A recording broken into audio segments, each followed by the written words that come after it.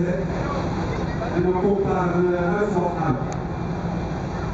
En de tweede die nu voorbij zien komen, wat is het levensbrengt? Levensbak voor de ervaring de Vroeger waren ze ook uh, de wachten op de, op de sleep, de, de, de